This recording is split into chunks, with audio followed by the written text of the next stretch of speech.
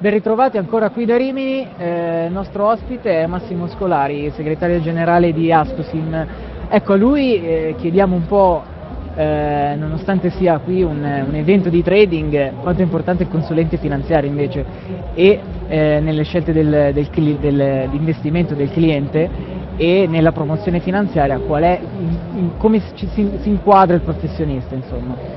Ah, penso che non c'è una contrapposizione con il trading perché l'attività di, eh, di investimento da parte dei, eh, dei, risparmiatori utilizza sia tecniche di trading ma ha sempre bisogno, come in tutte le, in tutte le attività, di un supporto per quelle attività per le quali non ci si sente abbastanza esperti. Quindi credo che un, un rapporto con un consulente finanziario o con una società di consulenza sia sempre importante anche per il cliente che privilegia l'investimento fai da te.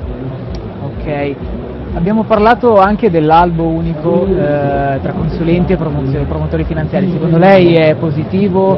Eh, cosa cambierà sia per il cliente sia per il professionista?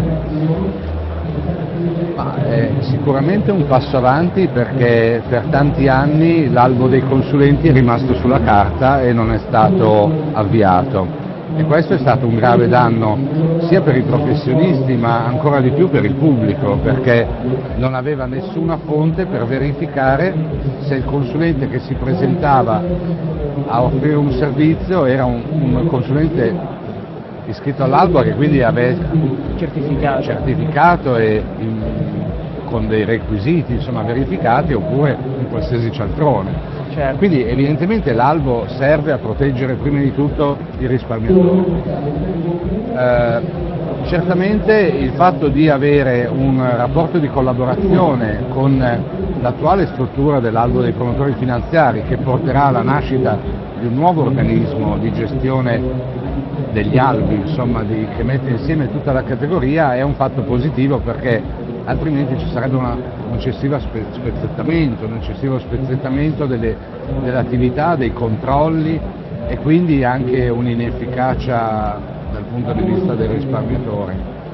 Penso che promotori e consulenti si troveranno a collaborare all'interno di questa istituzione comune eh, naturalmente nel rispetto delle specifiche differenze che sono importanti e che devono essere riconosciute e fatte conoscere al pubblico. Insomma possono coesistere insieme le due figure Assolutamente, senza, senza già coesistono. Eh, naturalmente c'è competizione come è giusto che sia, ma c'è anche competizione tra i promotori eh, finanziari, tra le banche e, e quindi è giusto che ci sia anche competizione tra i consulenti. Questo non significa che vi è un'esigenza comune di avere un, un albo quale, nel quale siano iscritti persone che hanno i requisiti di professionalità, di competenze e di onorabilità e che questi soggetti siano controllati, vigilati sia dall'albo sia dalle autorità di vigilanza. Quindi è chiaro che nell'interesse di tutti eh, collaborare a questo. Certamente, il settore dovrà anche coesistere con eh, i nuovi player sul mercato americano, che sono cosiddetti robo-advisor, cioè consulenti che hanno eh, per, per loro natura una parte tecnologica molto presente, quasi come se il consulente non servisse. Eh,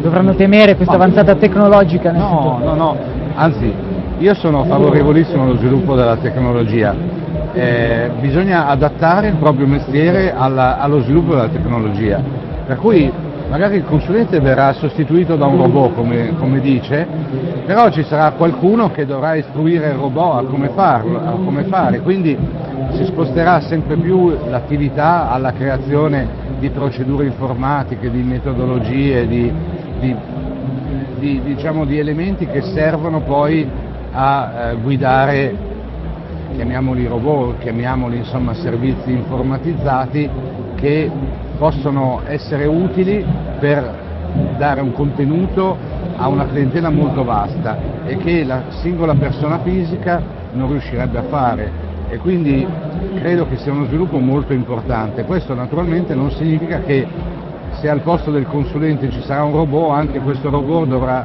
sottostare alle regole della MIFID e, e tutto quanto, perché anche, anche, questo è soggetto alle stesse regole, cioè voglio dire che le regole che riguardano la prestazione dei servizi di investimento valgono sia per chi presta a distanza sia che per chi presta direttamente, quindi è chiaro che ci deve essere un'uniformità di applicazione di regole per Queste tutti. nuove società potrebbero anche essere troppo competitive, mi spiego, eh, il loro forte è, sono i costi eh, minori, certo, che adesso... speriamo, speriamo, che la consulenza riesca ad arrivare eh, ai clienti a, a, bass, a bassi costi eh, attraverso l'utilizzo delle tecnologie. Sarebbe sicuramente uno sviluppo importante eh, proprio perché una delle accuse che si fa alla consulenza è quella di essere un servizio solo per i ricchi, perché solo i ricchi si possono permettere di pagare una parcella di consulenza. Io invece dico che la consulenza finanziaria serve soprattutto a chi ha meno patrimonio ma chi se lo vuole costruire e quindi è chiaro che eh, delle forme diciamo, standardizzate, informatizzate della consulenza che quindi abbiano un prezzo più basso eh, possono essere utilissime. Perfetto, quindi nessun problema, non correte rischi promotori finanziari?